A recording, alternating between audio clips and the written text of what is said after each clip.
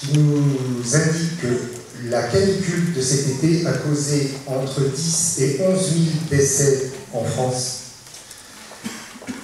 Je ne sais pas si vous savez, mais c'est la région Grand Est dans laquelle le bilan est le plus élevé.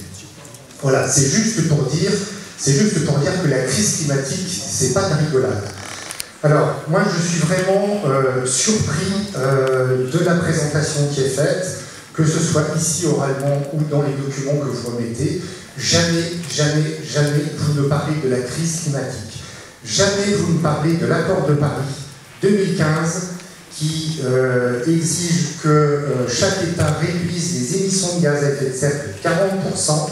On n'en parle pas dans la mesure où euh, la France a pris du retard et d'autres États aussi, et combien d'autres États aussi, l'Union européenne a fixé le, 21, le 12 décembre 2021 le seuil de réduction des émissions de gaz à effet de serre à 55% à l'horizon 2030.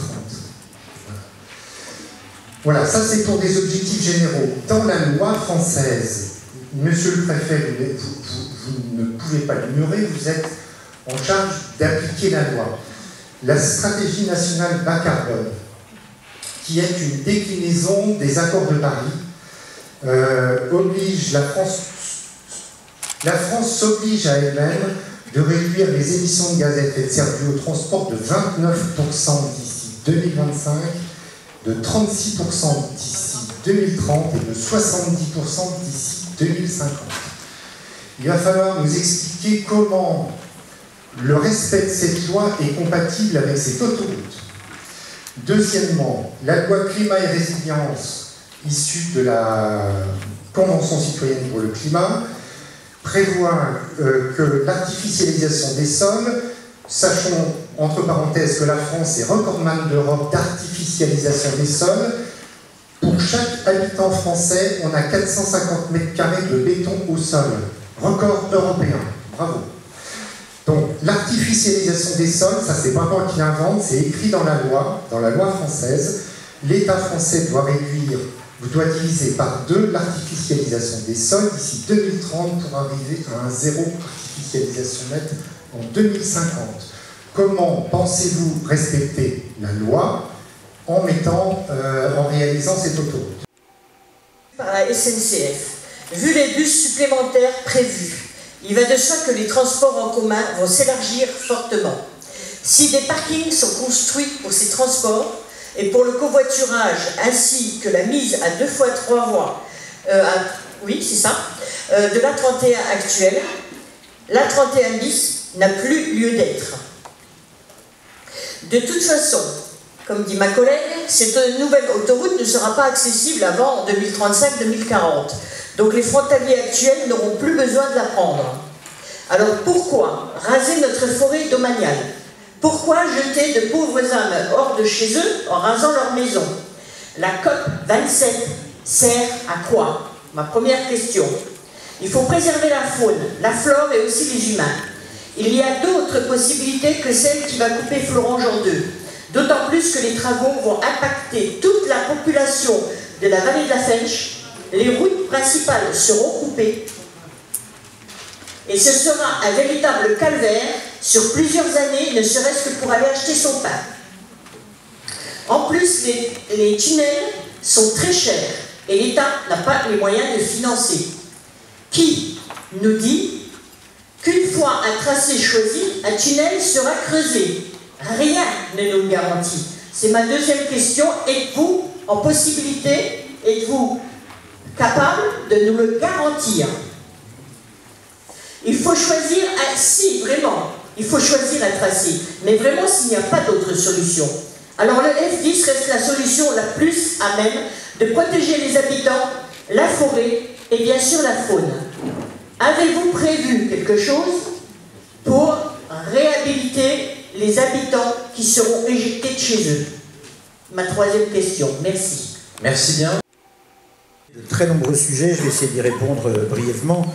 Euh, je voudrais réinsister sur le fait que euh, l'augmentation du nombre de frontaliers qui est prévue dans les 10 ou 20 ans qui viennent est très importante. Et que toutes les études montrent que l'autoroute même élargie, ne suffira pas à absorber l'accroissement de circulation.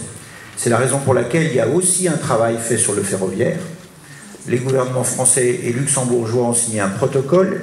Des travaux ont déjà commencé qui permettent euh, de euh, proposer 22 000 places de voyageurs par jour en 2030, alors qu'il n'y en avait que 9 000 en 2020. Donc il y a déjà tout un travail sur, sur le multimodal. L'objet principal de, cette autoroute, c'est de faciliter la circulation en la rendant plus fluide. Quand une circulation est plus fluide, il y a une consommation moindre de carburant. Faciliter la circulation en la rendant plus fluide en écartant le trafic qui encombre les rues des communes euh, autour de Thionville et en le dirigeant vers l'autoroute. Ça aussi, c'est un avantage pour euh, la qualité euh, de la vie des riverains qui se verront débarrassés d'un trafic poids lourd qui emprunte actuellement certaines rues et voies urbaines. Ensuite, euh, je, crois qu'il ne faut pas oublier, et on se situe tout à fait dans les objectifs des lois du GIEC et, des différentes conférences internationales, nous allons assister d'ici 10 et 20 ans à une évolution des motorisations des véhicules. Euh, d'ici 10 euh, ou 20 ans, la plupart des véhicules seront électriques. Et donc qu'il y ait une autoroute ou pas, de toute façon, cette action euh, de transformation des motorisations va améliorer la protection de l'environnement, la protection de la santé et un usage bien moindre euh, des combustibles fossiles. Je crois qu'il faut euh, vraiment en avoir conscience. Sur le zéro artificialisation net, vous avez raison de dire que c'est un objectif à 2050 et que l'effort doit être entamé dès maintenant. C'est d'ailleurs ce que l'État, avec les communes, commence pour euh, transformer l'utilisation du sol, essayer de densifier les constructions dans les centres des villes, dans les centres des villages, éviter de gaspiller euh, du sol pour étendre des, des nouvelles constructions ou des nouveaux aménagements à l'infini. Mais ça ne veut pas dire zéro partout nécessairement à certains endroits, il y aura besoin d'utiliser une partie du sol et à d'autres endroits de réutiliser des friches industrielles pour euh, soit implanter des, surfaces de commerce, soit de nouvelles activités économiques, voire même de replanter euh, des zones naturelles sur ces friches. Alors, une, question a été, euh, a été, posée sur la garantie qu'on peut apporter qu'un tunnel sera construit si un tracé qui le prévoit est choisi. Oui, madame, parce que si c'est une variante avec tunnel qui est retenue, il y aura une enquête publique et ensuite une déclaration d'utilité publique qui est un acte qui décrit très précisément l'ouvrage qui est ensuite autorisé de construire. Et donc il est impossible que s'il y a une déclaration d'utilité publique qui prévoit un tracé en tunnel, qu'on construise autre chose. Ça, ça n'est pas possible.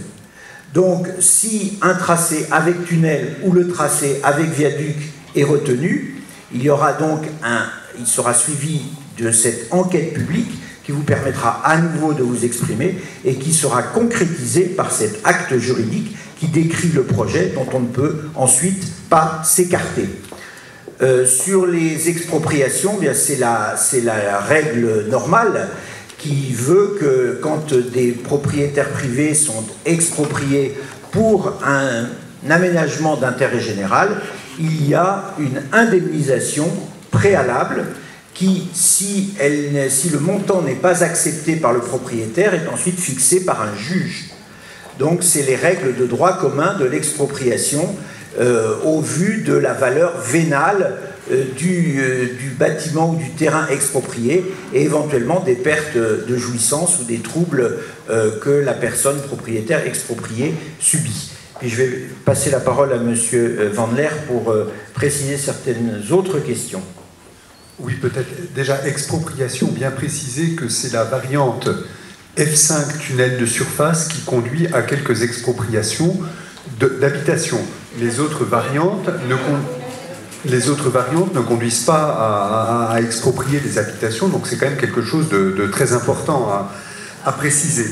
Euh, s'agissant du doublement du fret ferroviaire, là je dirais aussi on est dans un secteur où il, y a euh, une autoroute ferroviaire donc, qui part de Bétambourg et qui va jusqu'au sud de la France.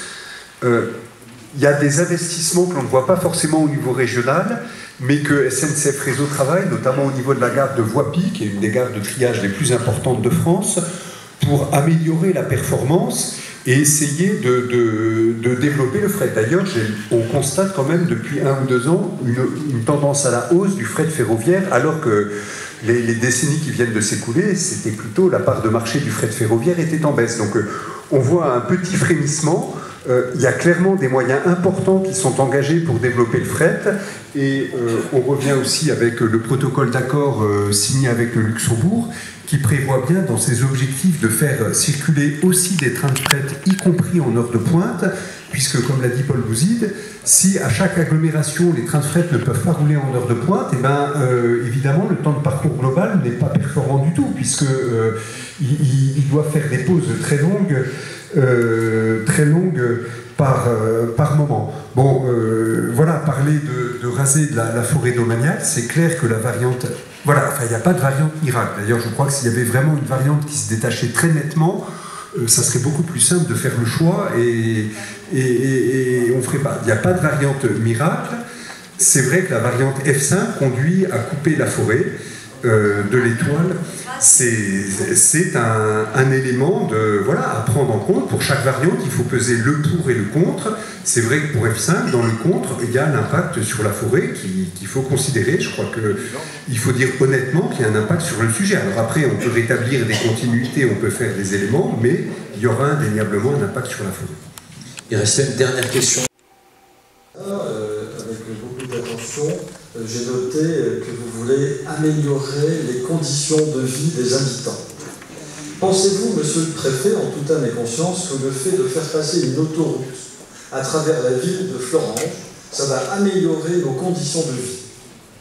Première question.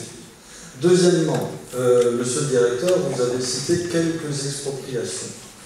Mais que ce soit 3 ou 30, je ne sais pas exactement combien il y en aura, mais on ne sent pas du tout euh, derrière vos propos que vous prenez en considération les drames humains qui commencent déjà, déjà à naître.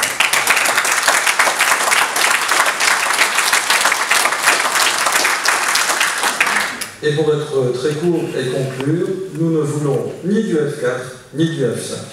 Merci. J'ai à ça. Hein, euh, les camions chargés à les, les produits chimiques pour l'Italie, et ils allaient à Fribourg en Allemagne prendre le train pour traverser la Suisse et ça se passait très bien. Hein, les, camions montaient sur le train à queue leu parce que c'était des wagons européens à petite route que la SNCF n'a jamais voulu euh, homologuer.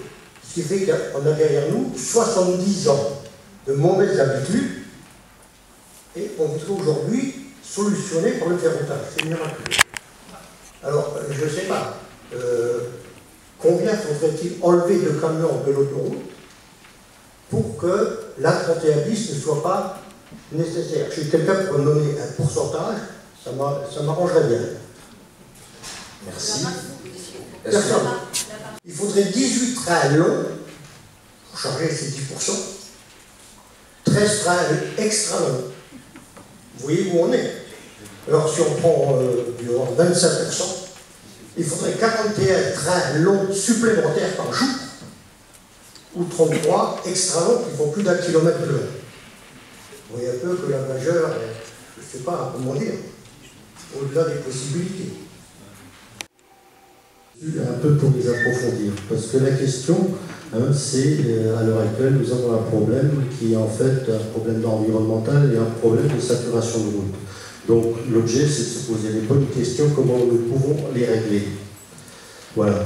Donc la première question, euh, elle a été évoquée par Greenpeace, euh, comment est-ce qu'on peut régler le problème de pollution et de, environnementale en, en doublant le problème, euh, en mettant une deuxième autoroute à la place au lieu d'une qui existe. Alors, est-ce toutes les alternatives? Alors là, c'est le point crucial à mon avis. Les alternatives, c'est extrêmement important.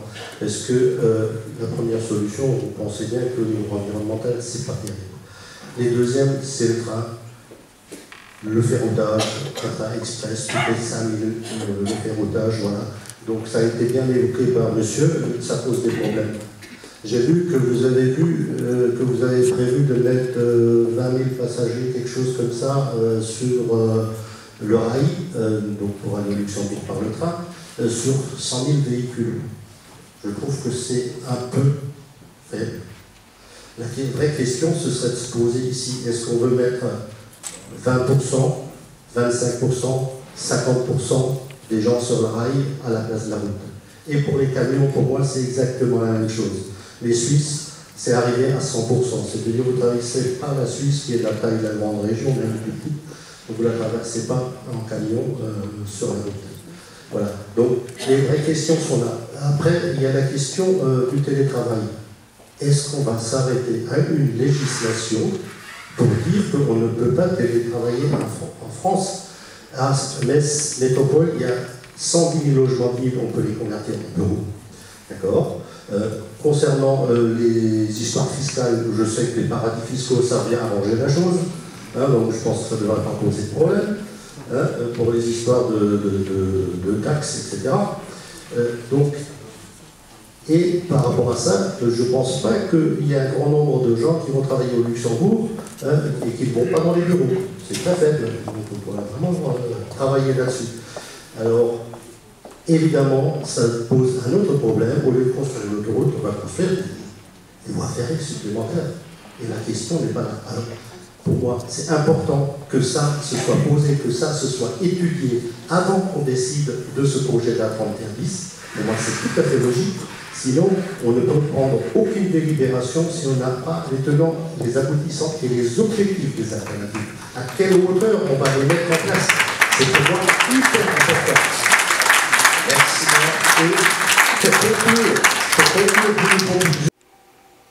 Et la fixité. L'important, c'est d'éviter les impacts environnementaux, humains et environnementaux.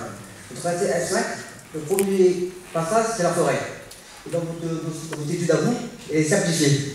moi, dans l'étude depuis 2015 que j'ai, depuis l'étude 2015 que j'ai, le, maître d'ouvrage dit qu'il faut protéger la forêt. Et la forêt, il y, a un arrêté de 20 ans. Il y a une DTA, il y a une trame verte. Et en même temps, il y a un plan de relance de 2019, la forêt. Et Madame Borne, en, septembre, elle n'est pas la France verte. Faut protéger les forêts. C'est la première étape, la forêt. Tout le monde dit que la forêt, c'est important. Mais dans étude, il y a juste l'impact forêt, pas un mot. Pour moi, l'intérêt ou l'objectif de protéger l'environnement, dans les six points de leur mission, c'est l'environnement, le climat, l'humain et les eaux. Donc on arrive dans la première partie à côté du glacier. Le c'est comme une colline. Donc la Florence, comme une porte. Et tout passage-là, c'est en plein air. Et dans le, dans tracé là, il n'y a pas les, les nouveaux lotissements? Le smoke d'étange, le, le, smoke de la le quartier de la gare, tout ça c'est en plein air. Et vu ça en compte, dans les, dans les études de CRMA de l'Adréal, ils disent bien que c'est une topographie, que c'est une porte, que la forêt est pas humide, que les arrêtés, c'est des zones, inondables. Donc tout ça, CRMA ils vous disent faites attention, parce que les études qu'on a par rapport au F5, on les a eues avant, par rapport au F7, par rapport à Rayonge. Donc ils nous disent faites attention à la forêt. Après, on arrive à la coquille. On nous dit que la coquille, elle est fermée. La coquille, elle est fermée, mais pas Arcelor. Le chaud fonctionne toujours jusqu'à 2027. Et actuellement, on de donner euh, une autre activité, le stockage. Le stockage de, métal pour euh, démontrer euh, les gros fourneaux. J'ai parlé des, des responsables d'Arcelor.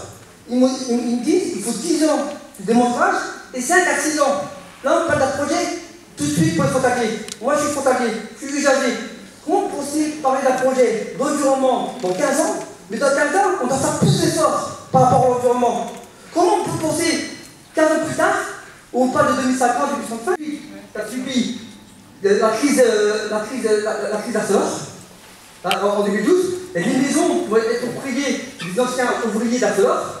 Comment, comment, ah, comment Florange, la ville la plus polluée, Comment Florence, comment Florence, pourquoi elle est sacrifiée par rapport à tout le monde? Merci. Il y a la dernière question que j'ai, désolé, c'est que ah, on arrive à la A30. La A30 a fait 15 ans, 20 ans, 30 ans pour demander murs anti-bruit pour, pour, les habitants de Farnec. Comment avoir confiance à, à l'État? On n'a jamais eu des murs au circuit à la réforme.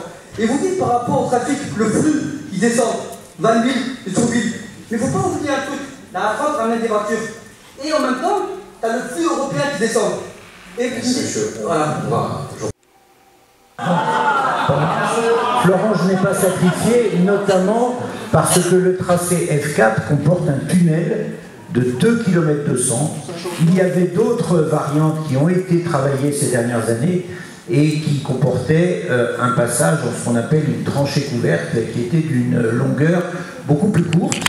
Et là, le tunnel euh, présenté dans le tracé F4 euh, part venant du sud juste après la zone de Sainte-Agathe on passe en souterrain, donc on ne peut pas dire que les, que les Florangeois verront ni entendront des voitures, et le tunnel ressort au nord de l'allée des Marronniers, et donc euh, protège la totalité des parties urbanisées et habitées de Florange. Je, veux dire aussi, je veux dire aussi que euh, il, faut, il faut penser à ce que vous vivez actuellement, ah bah, avec des, des voitures, des camions qui empruntent les rues de Florange et d'autres communes. Ce n'est pas, pas un problème limité à la commune de Florange. Donc euh, l'idée c'est de diriger le trafic routier vers l'autoroute et qui passera en tunnel pour l'essentiel sous Florange si c'est le tracé F4 qui est retenu. Très net et on peut penser qu'une partie significative empruntera l'autoroute. Vous avez parlé du délai. C'est vrai que c'est un inconvénient euh, significatif pour les tracés F5. Ils ont été mentionnés dans la présentation, puisqu'on a indiqué que compte tenu de la dépollution, de, de, ces incertitudes aussi, euh, parce qu'on ne sait pas exactement jusqu'à quelle profondeur le sol est pollué, il fallait ajouter quelques années supplémentaires euh, avant d'obtenir la réalisation de l'autoroute. En ce qui concerne le train, c'est euh, une question qui est en effet très, très importante. J'ai cité cette prévision d'augmentation de l'offre de circulation ferroviaire de 9 000 à 20 000 ou 22 000 places quotidiennes de maintenant jusqu'à 2030. Si on n'en fait pas davantage, eh c'est pour des raisons techniques. c'est que actuellement il y a des travaux pour allonger les quais pour mettre des trains plus longs la région qui est opérateur de transport ferroviaire va acheter des rames à double étage pour faire des trains avec davantage de personnes dans chaque train. Et les travaux, et c'est l'objet euh, d'un accord qui a été signé avec le Luxembourg l'année dernière, c'est d'entamer des études pour euh, améliorer la cadence de ces trains faire que euh, en une heure aux heures de pointe, on ne fasse plus passer 5 ou 6 trains, mais peut-être 10 ou 12. Et dans ce cas-là, on mettrait davantage de personnes dans le train, à condition que les gens acceptent d'y aller. Il y a beaucoup de gens qui préfèrent être dans leur voiture pour écouter leur musique et pour être tranquille, ça peut exister. Eh bien, si on arrive à améliorer le cadencement, on pourrait peut-être aller jusqu'à 30 000 ou 40 000 personnes par jour sur le train. Mais quand on voit qu'il y a 130 000 frontaliers, il en reste pas mal à transporter par d'autres moyens, et c'est la raison pour laquelle il faut conjuguer ces efforts, améliorer le multimodal, à la fois le train et l'autoroute, et c'est une des raisons du projet, des projets qui sont présentés ici. Je crois avoir... par le tracé F5, euh, j'avais pas l'intention d'intervenir, mais en fait je suis obligée. Je suis choquée, mais choquée. Choquée par le ton euh, du descriptif employé pour déployer les... Euh, euh, les diaporamas, mais ça je passe, c'est peut-être mon interprétation personnelle. Mais je suis choquée par ce mode de concertation. Effectivement, comme vous l'avez si bien rappelé, eh bien, vous n'avez pas encore envoyé les, euh, euh, les, documentations aux personnes. Donc on est à la première réunion, première réunion effectuée, et encore plein de personnes ne sont pas au courant de ce qui se passe. C'est nous, au niveau des associations, qui nous sommes obligés de faire le tractage. On fait le travail à votre place. Et j'aimerais que les garants le notent, que euh, pas toute la population n'a pu être atteinte par cette euh, publicité. C'est pas la. Vous, l'avez dit vous-même, que les, choses n'ont pas été faites. Ensuite, eu égard à ceux qui ont reçu cette information, qui ont eu le courage d'aller consulter sur le, le, site, le, plan que vous avez exposé ici. Moi, je suis très curieuse de savoir comment vous avez élaboré ce plan et qui a validé le plan. Qui a décidé du tracé définitif? Parce que moi, j'aurais pu donner ce dessin à ma fille et puis lui dire, bah, la zone urbanisée, c'est tout ça. Vous influencez les personnes. Vous faites des petits ronds là où ça vous arrange et des gros là où ça ne vous arrange pas. Je constate en tant qu'habitant de Florence concerné par le F5, j'ai déjà eu plusieurs fois la discussion avec euh, monsieur le maire de Florence, qui n'est pas là, mais c'est représentant. Ah, pardon, pardon. Il peut vous confirmer, je voulais encore dire ça. Pardon, pardon, mais je, je, je n'ai rien à cacher, c'est pour ça que j'ai regardé chez le collègue. J'habite euh, impasse de la Pépinière, peut-être pour vous, ça ne vous dit rien. Euh, mais euh, donc, je suis, je suis là, pas loin de la poterie qui a fermé là. Euh, moi, je suis curieuse parce qu'il y a deux voies ferrées qui passent, une devant, une derrière. J'aimerais bien savoir comment euh, il va passer euh, euh, l'autoroute derrière chez moi. Forcément, ça va être un viaduc ou au-dessus. On va le voir. Donc, là où je, viens, je vais en venir, vous allez dire oui, vous n'avez pas le choix, si ça passe par là, là, là. Mais là où, vous, c'est faux, et je demande que le garant note, quand vous faites une présentation du F5, vous dites, pour la variante soi-disant sous tunnel, vous l'appelez F5 tunnel profond. Ben, je suis désolée, ça porte confusion auprès des gens. Parce que le tunnel, il ne sera pas profond sur toute la longueur, il sera que sur une partie. Donc j'estime que si vous, vous... Oui, ah oui, oui, oui, il sera que sur une partie. Oui, oui, mais donc ça veut dire que vous trompez la population. Vous n'êtes pas clair sur ce qu'il dit. Et enfin, je me permets de revenir sur ce que madame a dit. Euh, en fait, le, le- le F5 est venu un jour il n'y a pas longtemps et les études ne sont pas finies. Elles ne sont pas finies et elles ne nous ont pas été communiquées. Donc on, est, là pour donner une position, mais on ne peut pas prendre position. Donc en fait, ce que je veux dire pour résumer, la concertation, elle n'est pas bonne procéduralement et il faudra assumer les conséquences, le cas échéant, d'un vice de forme.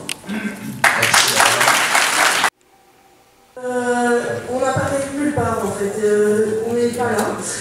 Alors qu'on est quand même le seul village coupé en deux déjà par l'autoroute. Donc là, vous parlez d'un tracé F10 qui va sûrement faire une voie supplémentaire. Donc on a déjà demandé un mur anti-bruit, on, nous a dit non parce qu'on a refait le revêtement, donc on passe en dessous des normes, donc euh, voilà, donc les riverains, c'est pas grave. Le, la départementale, on est déjà en voie de délestage, donc quand l'autoroute est bouchée, tout le monde passe dans le village. Et euh, ça va être euh, de pire en pire parce que bon, là on a les camions qui passent, mais ça va continuer. Et personne ne fait rien. Donc voilà. Et en plus, euh, si vous élargissez donc à trois voies euh, l'autoroute, on passe en plein dans les terrains agricoles. Est-ce que vous avez déjà entendu parler de résilience alimentaire Je ne sais pas? Et euh, éventuellement faire une réunion publique à Bertrand, j'en ai pas contre, parce que tous les réunions publiques sont du côté ouest, mais on aimerait bien aussi la parole. Voilà. Merci. Parce qu'aujourd'hui, j'ai vu sa journée, ce genre de promesses, vous savez à quoi vous en tenir. Puis je voudrais aussi souligner euh, l'absence d'élus en fait. J'ai rarement vu une tribune aussi large. Euh, on n'a que euh, des quoi, qui, euh, en tout cas aucun élu. Euh, en fait, aucun élu semble pouvoir encore assumer qu'il dit dans un projet comme ça. Et puis, c'est censé être un projet porté par l'État. Il y a quelques semaines, je rappelle que le ministre qui était en déplacement dans la région avait pu être interrogé sur le sujet. Tout le monde a pu constater à quel point il était déjà euh, super inconfort. Et puis, il s'est dépêché, en fait, déjà, de d'autant plus pour éviter de montrer qu'il connaissait absolument rien le sujet, et surtout sur le fait qu'il était super mal à l'aise, il s'était faussé sur les élus locaux. Genre, euh, faudrait savoir si l'État est porteur de ce projet ou pas. Et le problème, c'est qu'il n'y a pas d'interlocuteur. Et puis, euh, concernant les élus locaux, alors là, je constate qu'il y en a quelques-uns, il n'y en a pas un qui s'est exprimé, et d'après les, d'après les élus, mais, non, mais vous pouvez le faire aussi, mais d'après les échos que j'ai du copie, euh, apparemment, euh, des élus locaux, elle est plus unanime que ça, loin s'en faut. Donc à un moment donné, j'aimerais bien que la question soit posée sur le plan politique. Qui c'est qui tient ce discours? Parce que même le ministre veut plus se, se salir les mains là-dedans, tellement le projet est plus long. Euh, reste-t-il pour le, pour le porter, à part euh, des technocrates en, en autogestion? Et puis, tant que j'y suis, je voudrais aussi souligner les prises de position de, de maires euh, euh, contre le projet. Alors, des élus, euh, il y en a des historiques, mais c'est essentiellement des opposants, des oppositions. Et là, de plus en plus, on a des élus en responsabilité. Et je voudrais saluer ce courage-là parce que c'est pas évident de prendre le risque de se faire marginaliser par ses pairs dans un lieu qui est quand même très corporatiste. Et puis, en, dernier lieu, je voudrais aussi euh, euh, féliciter cette nouvelle génération de militants de Florange, parce que si aujourd'hui, vous voyez, il y a autant de monde dans cette, euh, dans cette salle, et si la situation est aussi, je vais dire, quasi unanime qu'elle est, qu'elle est ce soir, et ben, c'est grâce à vous, c'est grâce au boulot que vous avez fait. Et euh, moi, je voudrais vous dire que euh, je pense que si vous lâchez rien dans les semaines et les mois qui viennent, vous allez gagner. Merci. s'exprimer et de laisser la, parole à la salle. Et donc c'est la raison pour laquelle, cher monsieur, nous ne sommes pas exprimés, parce qu'effectivement, on nous entend quand même beaucoup sur ce sujet. Ce que je voulais dire, c'est que depuis 2016, depuis que je suis aux responsabilités, mais je crois que j'ai vu le président de l'agglomération, Michel Libotte, dans la salle, ici, Michel Libotte, on est totalement impliqué sur ce dossier. Je vois Rémi Dick qui est ici présent et qui est maire de Florange totalement impliqué sur ce dossier. Je rappelle qu'en termes de mobilité, nous sommes le territoire qui avons développé quand même le télétravail, puisque nous sommes passés, lorsque j'ai pris mes responsabilités, nous étions à 21 jours de télétravail, on est passé à 29 jours de télétravail, on est à 34 jours de télétravail. Et je précise quand même que le télétravail est autorisé largement au-delà des 34 jours, simplement la fiscalité est prélevée en France au lieu d'être prélevée au Luxembourg avec euh, un capage qui se fait de l'ordre de 25% du temps, parce qu'après le prélèvement euh, sur l'aspect social est, fait par la France. Au niveau du... Moi je vais m'exprimer au niveau euh, des variantes. Clairement, on est dans une situation, le territoire sur au sens large, jamais connu depuis les années 60 en termes d'activité en termes d'attractivité, en termes de dynamique. On nous parle du Luxembourg, mais est-ce que vous savez que plus de la moitié des emplois aujourd'hui de notre territoire sont sur notre territoire? Ce qui montre qu'en fait, effectivement, il y a une attractivité très très lourde aujourd'hui sur le territoire.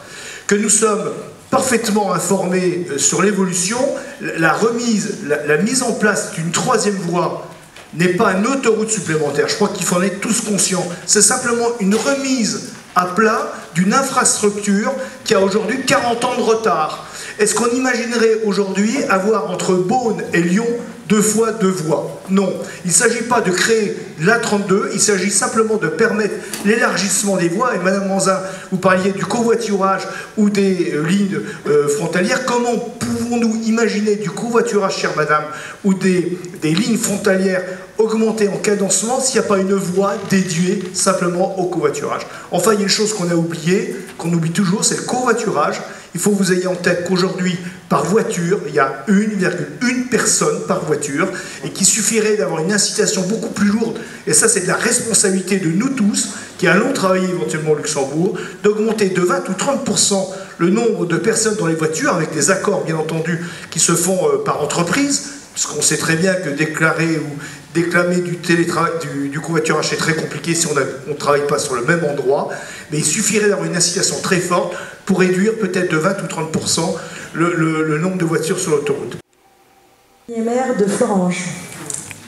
Je m'exprime au nom de l'association de sauvegarde du site de Bétange qui compte près de 200 adhérents.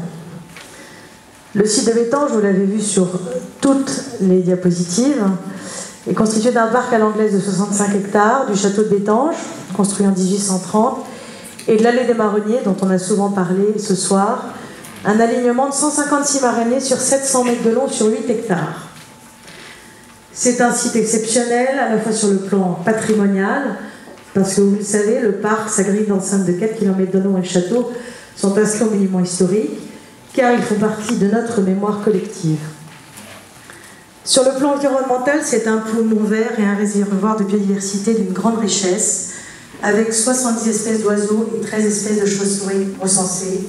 Je vous citerai les plus remarquables, le milan noir, le faucon pèlerin, le pic le grand rhinolophe pour les chauves-souris, le grand murin ou le murin Pechstein. La ville des Marronniers est en particulier reconnue pour ses qualités ornementales et environnementales, vous la voyez tous depuis la D653, elle est refuge LPO pour les oiseaux, refuge chauve-souris. Elle est ensemble arbre remarquable de France. Elle a gagné le prix des allées d'art de Cité Monument en 2020. Elle a aussi fait l'objet d'une des toutes premières obligations réelles environnementales dans la région Grand Est qui a été signée pour 99 ans avec la LPO pour en protéger la biodiversité. On assiste aujourd'hui à un discours à deux vitesses de la part des autorités. Il existe en effet un périmètre de 500 mètres de protection autour de tout monument historique inscrit ou classé. Tout citoyen, et je sais que beaucoup d'entre vous y ont été confrontés, qui habite dans ce périmètre a l'obligation de demander l'autorisation à l'architecte des bâtiments de France pour changer la couleur de ses volets ou obtenir un permis de construire. Ici, nous avons quatre tracés qui passent tous dans ce périmètre de protection de 500 mètres, avec co-visibilité avec la grille d'enceinte et le parc qui sont inscrits monument historique. Ces tracés même s'ils ne coupent pas le parc ni la grille d'enceinte, auront des conséquences irrémédiables en termes de pollution visuelle, lumineuse, sonore, atmosphérique, sur ce patrimoine architectural et sur ce réservoir de biodiversité qu'est le parc de Bétange. Les tracés F4 et F10 sont particulièrement catastrophiques, vous l'avez vu sur les diapositives, car ils comportent un ouvrage en remblai, c'est-à-dire en hauteur, entre le rond-point de l'Étoile et Terreville, et passent à la lisière du parc. Et ce sont deux tracés qui coupent la des marronniers, l'un en surface, l'autre en souterrain. L'association de sauvegarde du site de Bétange a fédéré autour d'elle 10 associations. La LPO, les Maisons Paysannes de France, Cité Monument, Arles, Parc et Jardin de Lorraine, le Groupe National de Surveillance des Arts, Paysages de France, la demeure historique, Vieille Maison Française, Patrimoine Environnement. Ces associations ont adressé à vous, messieurs, ainsi qu'au comité de pilotage une lettre le 26 janvier 2022 où elles demandent officiellement au ministre, au comité de pilotage, l'abandon du nouveau tronçon autoroutier à l'ouest de Thionville et l'affectation du budget prévu à des moyens alternatifs de mobilité. Ce nouveau tronçon autoroutier est donc une mauvaise réponse à une bonne question.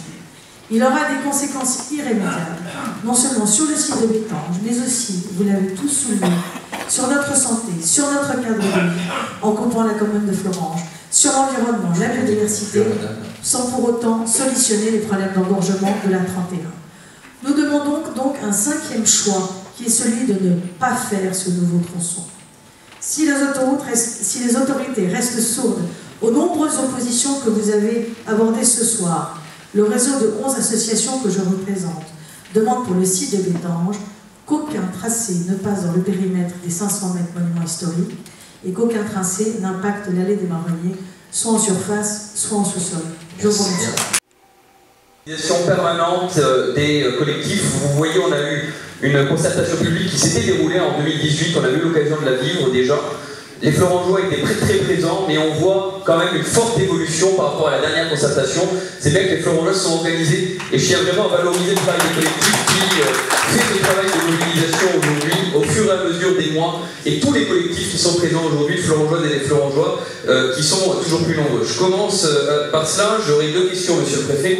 Première question concernant la loi 3DS. Pour la bonne information de tout le monde, et parce que c'est un sujet qui avait été abordé, euh, cette question de la loi 3DS qui euh, a un volet mobilité dans cette décentralisation euh, et qui prévoit aujourd'hui qu'il y aurait peut-être, et je dis bien peut-être, et c'est toute la question, et c'est le loup dans la, question, peut-être un changement de maître d'ouvrage en cours de route, puisque peut-être que les autoroutes ou les voiles nationales peuvent être cédées d'une certaine manière après un transfert de compétences à la région ou dans d'autres départements, dans d'autres régions, dans d'autres territoires au département. En Moselle, le département de la Moselle ne veut pas des autoroutes, donc le sujet ne se pose pas. Mais effectivement, il y a cette possibilité d'un transfert euh, vers euh, la région Grand Est, qui a fait savoir qu'elle était intéressée pour la 30 et la 31. Qu'en est-il de la 31 bis? Est-ce que la 31 bis sera sous maîtrise d'ouvrage de la région à partir du 1er janvier? Auquel cas, cela change quand même la question de l'interlocuteur en cours euh, aujourd'hui de cette concertation. Et c'est un vrai sujet aujourd'hui qui mérite une clarification au début de, euh, de, euh, cette concertation. La deuxième chose, monsieur le préfet, je me pose la question, en regardant les cartes, la question de Richemont. on n'a jamais cette croix de Richemont, ce, ce triangle de Richemont, qui est abordé dans aucun des trois tracés. C'est quand même une interrogation, à force de regarder ces cartes, on se pose quand même la question de pourquoi il n'y a jamais, dans aucun de ces tracés, la liaison entre de l'A30 vers l'A31 de ce qu'on pourrait appeler ce triangle de Richemont. Euh, monsieur le préfet, je me permets également euh, euh, de noter simplement, quand on a d'autres possibilités dans cette concertation, au fur et à mesure des différentes phases de cette concertation, de rappeler le positionnement. Je note malgré tout, monsieur le préfet, que vous avez fait un commentaire tout à l'heure après les remarques de Florangeois et Florangeois. Vous avez dit les Florangeois ne sont pas sacrifiés parce qu'il y a la possibilité d'un tunnel profond. Sous-entendant par là, et je le dis dans le garant, que euh, la tranche est couverte, c'est sacrifier Florange. Merci monsieur